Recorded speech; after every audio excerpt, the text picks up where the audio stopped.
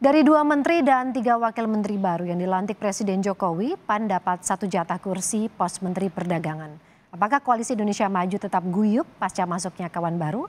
Mampukah formasi baru kabinet betul-betul berdampak pada kinerja di sisa masa pemerintahan? Lengkapnya dalam ulasan istana bersama jurnalis Kompas TV Friska Clarissa.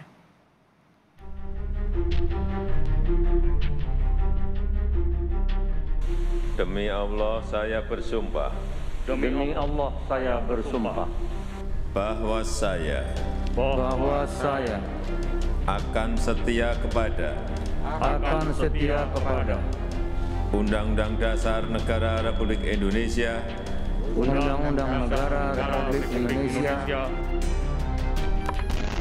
Presiden Joko Widodo akhirnya mereshuffle Kabinet Indonesia Maju. Ada PAN, dapat kursi menteri, pun sejumlah pos tukar posisi. Apa iya reshuffle kali ini betul-betul berefek positif terhadap kinerja atau sekedar bagi-bagi porsi kuasa? Lengkapnya dalam ulasan Istana bersama saya, Friska Clarissa. sama masing-masing. bersedia. Presiden Joko Widodo melantik dua menteri dan tiga wakil menteri baru Kabinet Indonesia Maju. Partai Amanat Nasional akhirnya resmi dapat pos menteri. Ketua Umum PAN Zulkifli Hasan menjadi Menteri Perdagangan menggantikan Muhammad Lutfi.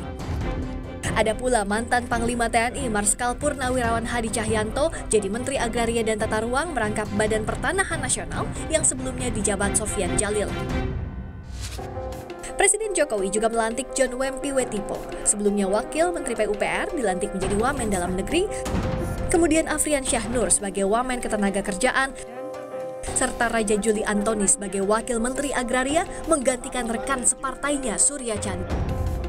Yang jadi sorotan utama, PAN masuk kabinet. Sempat berhadap-hadapan di Pilpres 2019, arah PAN berubah ikut dalam perahu koalisi Jokowi tahun lalu.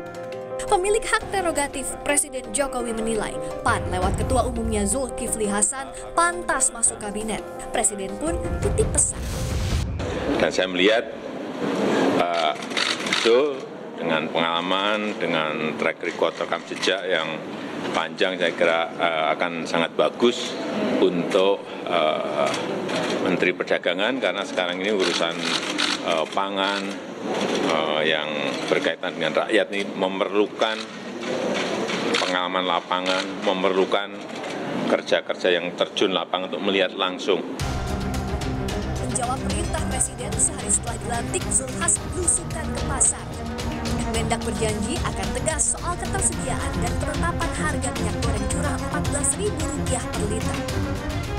Eh, minyak goreng yang 14.000 ini tidak tawar-tawar, mesti kita mesti kita tersedia ya.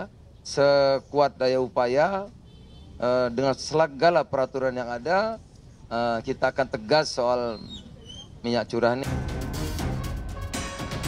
Kompakkah koalisi Indonesia Maju dengan masuknya PAN di koalisi? Presiden dan para ketua umum parpol pengusung tampak ingin menunjukkan mereka kompak lewat gestur cair sambil makan bersama sebelum pelantikan. Sekilas tampak biasa, memang Presiden sering menjamu tamunya di istana. Tapi pilihan lokasinya misalnya, lokasinya ini di Presidential Lounge. Kalau untuk uh, acara yang formal, biasanya itu di Istana Merdeka. Ini tempatnya di seberang Istana Merdeka dan kita lihat suasananya pun lebih cair, informal, biasanya tertutup, tapi tampaknya Presiden Jokowi ingin menunjukkan sesuatu dari pertemuan ini. Dan bukan hanya makan siang saja, kita lihat juga uh, gambarnya bahwa para ketua umum parpol ini berjalan dari area Istana Merdeka menuju Istana Negara bareng-bareng bersama-sama sambil terlihat bercanda. Yang bisa kita baca apa dari gestur yang yang disampaikan Presiden Jokowi yang kerap kali memberikan sinyal kepada publik? Adalah koalisi ini tetap solid meskipun ada kawan baru PAN karena sebelum reshuffle ini akhirnya diketok palu dan dilantik para menteri dan wakil menteri sempat berembus kabar tampaknya ada partai-partai yang kurang senang atau ada yang insecure, ada yang takut jatahnya akan diambil. Yang jelas, pasca pelantikan, setumpuk pekerjaan rumah telah menanti para menteri dan wakil menteri. Presentasi janji ke publik setelah menyandang jabatan baru harus dibayar dengan tunainya tugas tak melulu soal dapat pos yang pas sebagai buah loyalitas politik.